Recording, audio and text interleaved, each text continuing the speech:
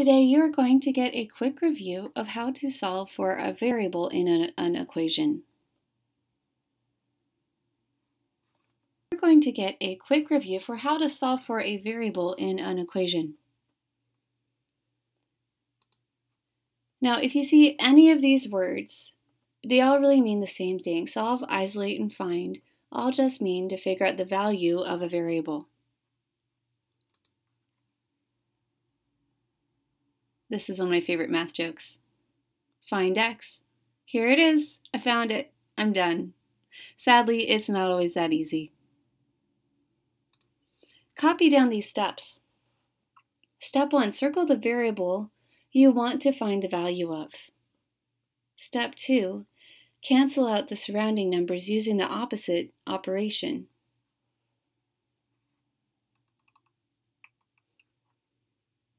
Now, here's the deal with step two. There's often more than one surrounding number near your variable that you have to cancel out.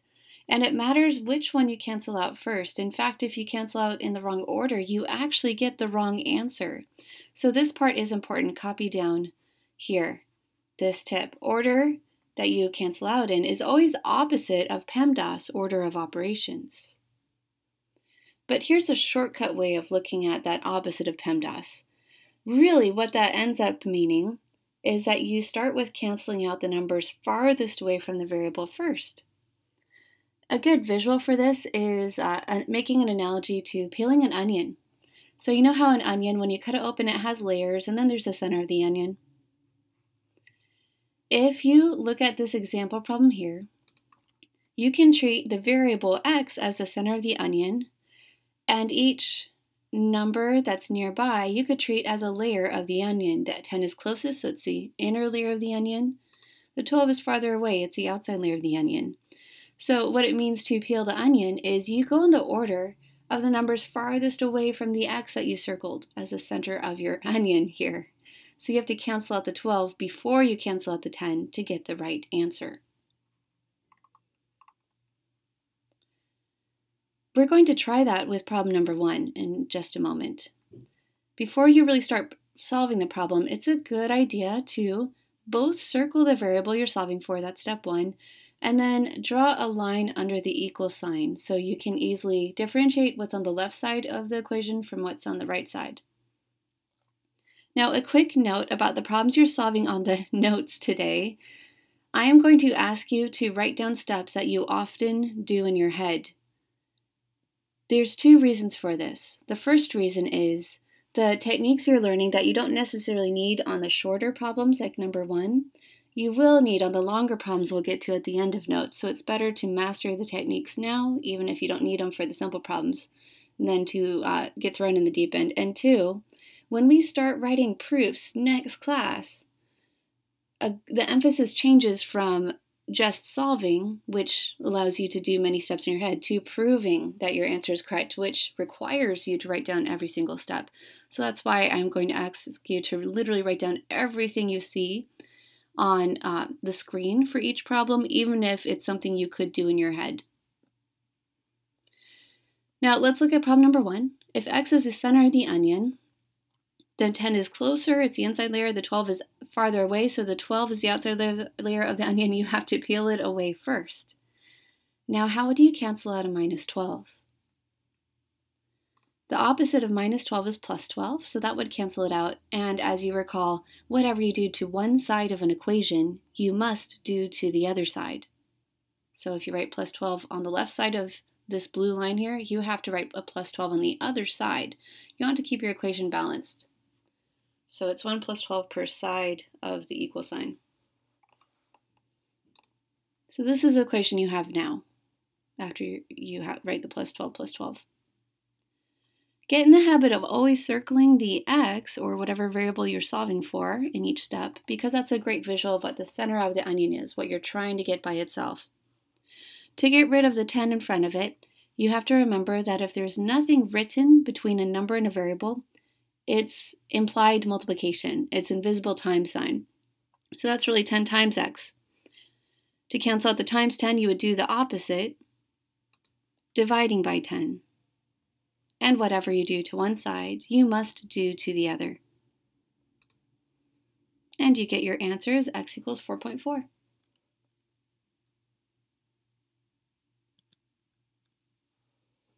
We're going to go through the same process with one just a little bit harder. But the steps are the same. You still start by circling your variable and drawing a line under the equal sign so you can differentiate left side from right side of the equation. Now, if x is the center of our onion, what's the outermost layer? What's farthest away from that? If you're thinking plus 15, very good. So that's what you have to cancel out first. You actually get the wrong answer if you cancel out one of the other numbers, like the 2 or the 3, before the 15.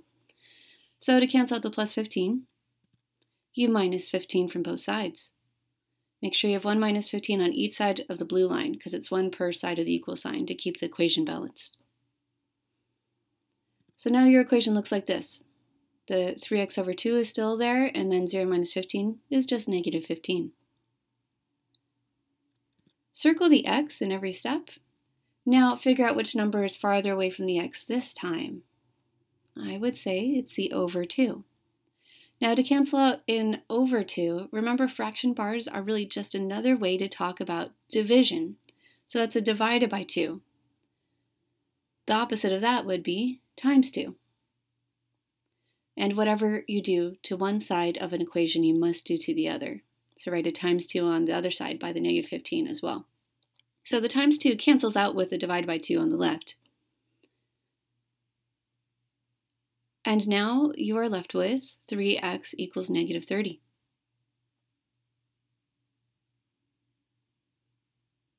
Circle the variable and then figure out what you need to do to get it by itself. It's times 3. To cancel it out, you would do dividing by 3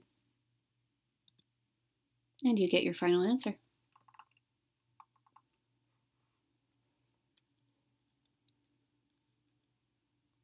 Next, we're going to start throwing in grouping symbols. Go ahead and draw the line under the equal sign. There's a couple different ways to solve a problem like this, but the most popular when you see a number directly outside of parentheses is to remember that if there's nothing between the number in parentheses, it's invisible times. So it's 2 times the whole quantity, x plus 5. When you have 2 times a whole quantity in parentheses, you just distribute that 2, which will look pretty familiar. 2 times x is 2x. Bring down the plus sign. 2 times 5 is 10. Now you can circle the variable and figure out which number cancels out first, the 2 or the 10. If you said the plus 10 had to cancel out first, well done. So you do the opposite, once on each side of the blue line, each side of the equation. You circle the x again. To cancel out the times 2 in front of it, you divide by 2. And whatever you do to one side, you do to the other. And you should get x equals 1.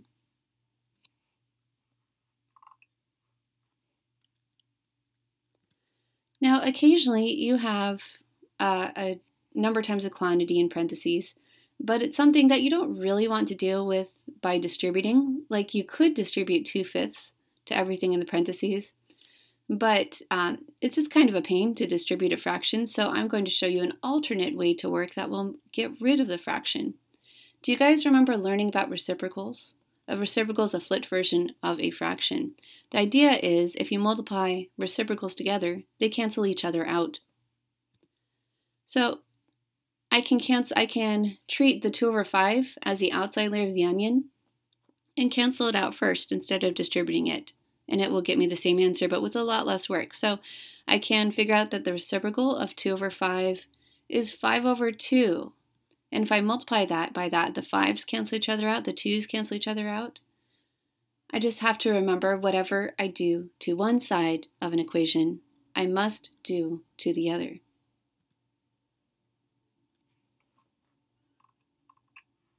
Now, on the other side of the equation where I have 8 times 5 over 2, it's much easier to multiply two fractions together than a whole number in a fraction, so let's rewrite that 8 as 8 over 1. And then we can multiply straight across. 8 times 5 is 40. All over 1 times 2 is 2. And when you rewrite the left side of the equation, you don't need the parentheses anymore because there's nothing left outside the parentheses. Now let's simplify that fraction, 40 over 2. 40 divided by 2 gets you 20. And now to get x all the way by itself, you have to cancel out that minus 2 by doing the opposite, once on each side of the equation.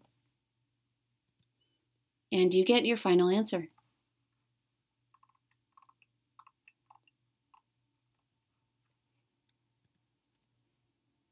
Go ahead and draw a line under the equal sign. This is like number four. You could distribute one half, but it would probably be easier to multiply by the reciprocal. What would the reciprocal be?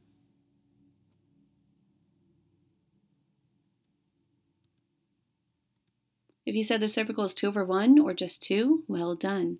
So multiplying by 2 over 1 cancels it out. Whatever you do to one side of the equation, you must do to the other.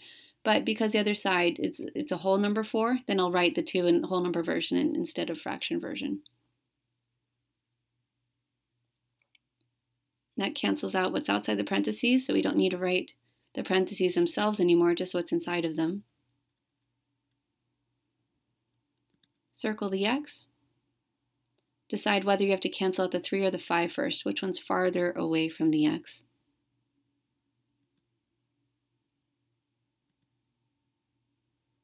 get x all the way by itself by canceling out the times 3 in front. And you get your final answer.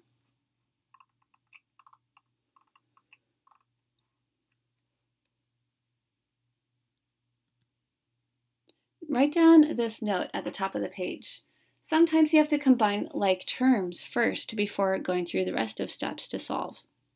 If like terms are already on the same side of the equal sign, you want to add them together. So if you look at number six, you actually have variables in two different places in your equation. But because both terms with variables are on the left side of the equal sign, you could just rewrite your equation so they're next to each other. Take a moment to do that. And then say, well, I know that 8x plus 2x, they're like terms, so I can just add them together and that'd be 10x. And then 6 plus 24 are like terms because they're both constants without variables, and that'd be 30. So if they're on the same side of the equal sign already, you do not need to minus underneath to move a number anywhere. They're already both on the left side of the equal sign. You just add them together. So when you have like terms on the same side of the equal sign, this is important. You just squish them together. 8x plus 2x is 10x, 6 plus 24 is 30. Now it's like your previous problems where you can circle the x and work to get it by itself. The 30 is farther away from the x, so you'd have to cancel it out first. And then you can divide by 10 to get x all the way by itself.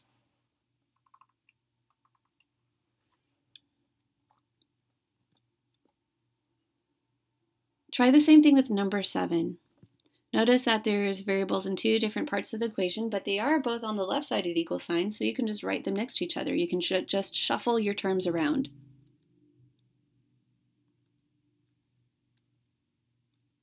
And then you can squish like terms together, add your like terms.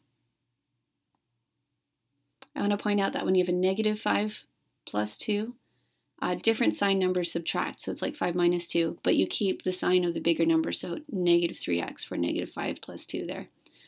And then 2 plus 6 plus 13 is 21.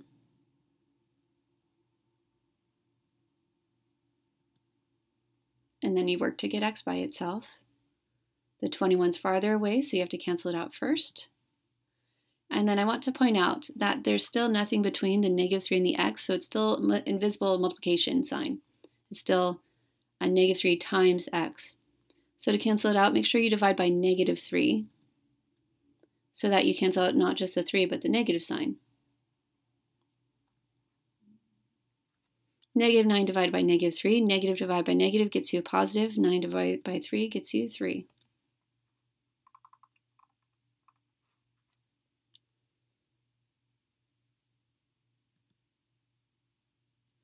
Write down this note at the top.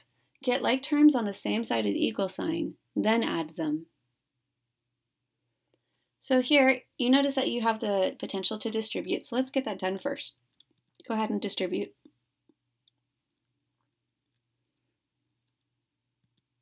Shouldn't look like that. But now when you circle the x's, I want you to notice that they are on opposite sides of the blue line. They are on opposite sides of the equal sign. This is when you would have to subtract from both sides to get them on the same side of the equal sign. Uh, personally, it doesn't matter if you get both of them on the left side or the right side of the equal sign, but I like to, um, myself, I like to choose a smaller number to move. So 4x is smaller than 6x, I'll usually choose the 4x to move. So to cancel out the 4x, I would minus 4x from both sides, once on each side of the blue line. And that would move it to where to the left side of the equal sign where it can combine with the 6x.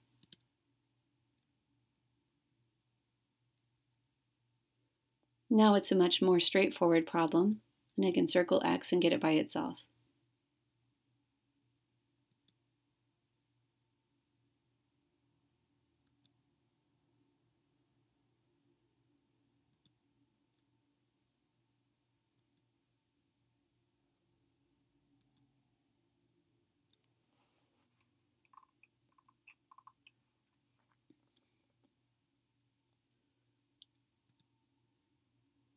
Now, if you see distributing as part of a longer problem, that's usually a great place to start. So go ahead and distribute. 2 times y is 2y. Bring down the minus sign. 2 times 21 is 42. And then bring down the minus 3y at the end of all that. Now, if you look at that, you have y's actually in three different places. Two of the y's are already on the same side of the equal sign, so you want to write them next to each other first. Since they're already on the same side of the equal sign, you can shuffle them around. And then add those like terms. 2y minus 3y is negative 1y. Essentially, when you have one positive, one negative, one positive 2, one negative 3, you do larger minus smaller, 3 minus 2 is 1, and you keep the sign of the bigger number. Bigger number is negative, so it's negative 1. Now, you want to circle y, but it's still two places, so you still need to work to get those y's in the same place. I usually take the smaller number to cancel out. Whatever you do on the right side the equal sign, you have to do on the left side the equal sign, so that moves the 1y so that it can combine with the 5y. And now you've got a variable in a single place in your equation, and you can work to isolate it.